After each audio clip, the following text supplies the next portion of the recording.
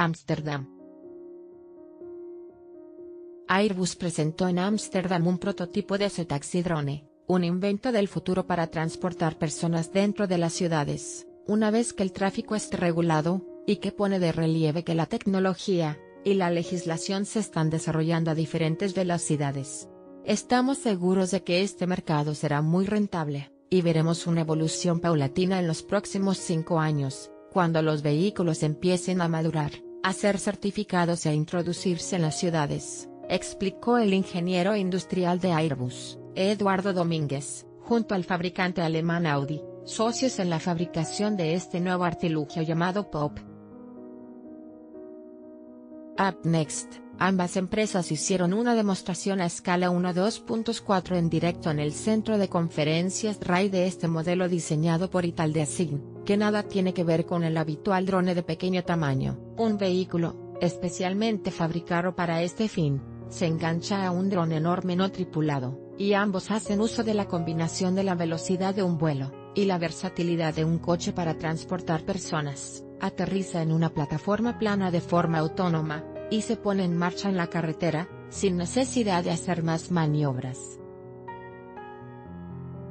Todo esto es muy prometedor, pero requiere ahora una definición de rutas aéreas, y por eso Airbus ya ha elaborado una arquitectura de cómo debe ser ese sistema, y está intentando definir con más precisión los aspectos militares y de aviación civil y comercial.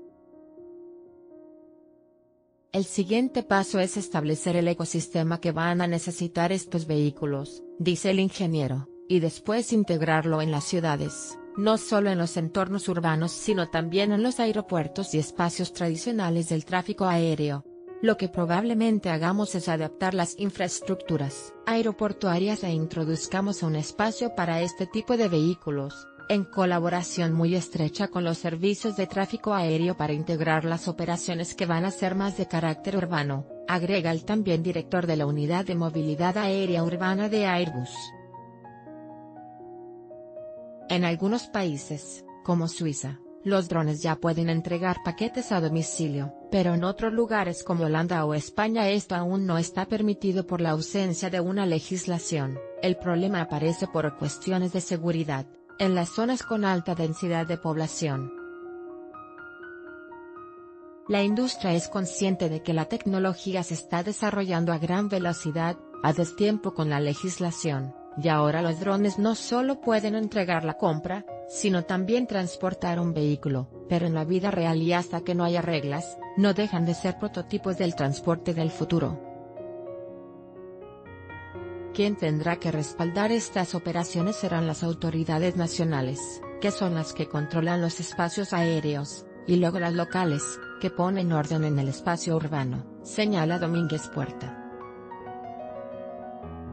En una intervención ante cientos de participantes ingenieros y empresarios en la Semana Internacional del Drone en Ámsterdam que cierra hoy sus puertas, Bulk subrayó que para llegar ahí, a usar un taxidron, tenemos que regular al mismo ritmo que innovamos, lo que supone establecer estándares globales. Este invento, que a simple vista parece ciencia ficción, podría ser clave para aliviar la congestión de las grandes ciudades, al dividir el tráfico entre aire y tierra, señalaron diferentes ingenieros.